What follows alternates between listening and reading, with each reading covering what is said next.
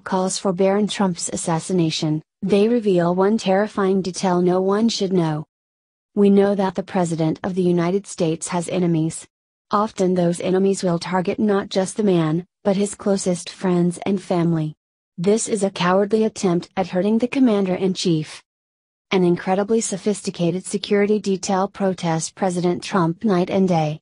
Even before he was president, Trump enjoyed top security. Few enemies could even dream of harming him. So, it comes as no surprise that they would want to hurt his wife or young son, Barron. We've learned that Barron has been targeted by one of the deadliest organizations in the world.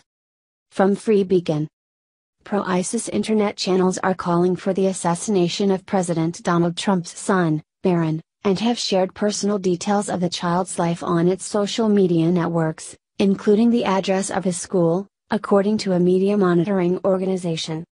ISIS supporters, on a well-known Telegram channel, shared the name and address of Barron Trump's school and are calling for backers of the terrorist organization to assassinate him, according to the Middle East Media Research Institute, or MEMRI. The initial message, sent on November 21 by an ISIS supporter on Telegram, called for the assassination of Barron Trump, and shared the name of the school that Barron attended along with a Google map pinpointing its location, according to MEMRI, which shares images of this messages with reporters. Using the hashtag handle the son of the mule of America, the supporter, who uses the name Dakal Munafiqeen, Arabic for striking the hypocrites, wrote, Barron Trump goes to this school in Washington, according to MEMRI.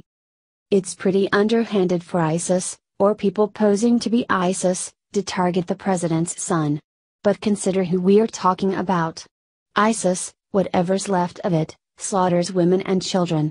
They've beheaded enemies without a second thought. They use cars to mow down innocent civilians for the sake of jihad.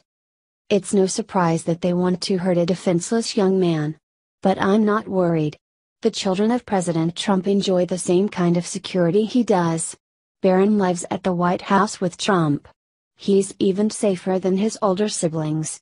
Even at school, Barron is watched by hawk like Secret Service agents you need to consider how weak ISIS has become. Thanks to President Trump's decisive guidance, ISIS has been driven from Iraq and Syria. Thousands of their agents are dead or captured. The few that are left are cowering in holes in the ground. I doubt they'll be much of a threat.